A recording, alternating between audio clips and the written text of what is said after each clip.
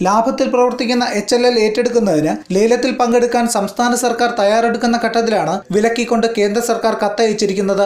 H L L life care വിറ്റഴിക്കുന്നതുമായി ബന്ധപ്പെട്ട് തയ്യാറാക്കിയ പ്രാഥമിക വിവരപ്പട്ടികയും ലേലത്തിൽ പങ്കെടുക്കാൻ താൽപ്പര്യമുള്ളവർക്കായി ആഗോളതലത്തിൽ സമർപ്പിച്ച ക്ഷണവും പ്രകാരം കേന്ദ്ര സർക്കാരിനോ കേന്ദ്ര പൊതുമേഖലാ സ്ഥാപനങ്ങൾക്കോ അൻപത്തിയൊന്ന് ശതമാനമോ അതിൽ കൂടുതൽ ഓഹരിയുള്ള സഹകരണ സംഘങ്ങൾക്കോ ലേലത്തിൽ പങ്കെടുക്കാൻ സാധിക്കില്ലെന്നാണ് നിബന്ധന. സംസ്ഥാനങ്ങൾക്കോ സംസ്ഥാനങ്ങൾക്ക് കീഴിലുള്ള പൊതുമേഖലാ സ്ഥാപനങ്ങൾക്കോ ലേലത്തിൽ പങ്കെടുക്കാൻ അർഹതയില്ലെന്ന് എവിടെയും പറയുന്നില്ല. ഇക്കാര്യം പ്രധാനമന്ത്രിയുടെ ശ്രദ്ധയിൽപ്പെടുത്തി. നിലവിൽ വലിയ ലാഭത്തിൽ പ്രവർത്തിക്കുന്ന എച്ച് എൽ എൽ സ്വകാര്യ മേഖലയ്ക്ക് മാത്രമേ വിറ്റയിക്കൂ എന്ന കേന്ദ്ര സർക്കാരിന്റെ പിടിവാശി സഹകരണ ഫെഡറലിസത്തിന്റെ തത്വങ്ങളെ അപ്രസക്തമാക്കുകയാണ്.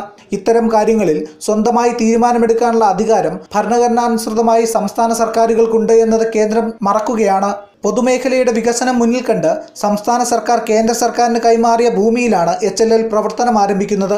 അതുകൊണ്ട് തന്നെ എച്ച് എൽ എൽ കേന്ദ്ര സർക്കാരിന്റെ ഉടമസ്ഥതയിൽ നിന്ന് ഒഴിവാക്കാൻ തീരുമാനിച്ച സാഹചര്യത്തിൽ അതിനെ സംസ്ഥാന പൊതുമേഖലാ സ്ഥാപനമായി നിലനിർത്താനുള്ള അവകാശം കേരളത്തിനുണ്ട്.